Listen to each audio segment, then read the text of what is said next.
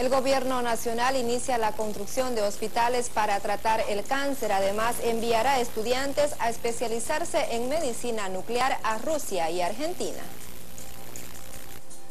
Porque es importante que ustedes sepan que el tema de salud por constitución está en manos de las gobernaciones. Y el gobierno central cada año asigna dinero para que las gobernaciones hagan su trabajo.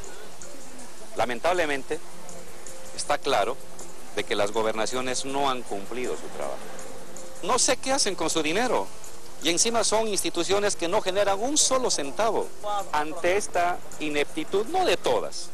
Hay algunas gobernaciones que han hecho parte del trabajo, pero ante esta ineptitud de algunas gobernaciones, nosotros vamos a asumir y estamos haciendo, estamos invirtiendo 2 mil millones de dólares para construir hospitales de cuarto nivel, de tercero y de segundo. Y en el tema estricto de cáncer, en el caso de Santa Cruz, la, alcaldía nos ha cedido un terreno para construir el, hospital de medicina nuclear.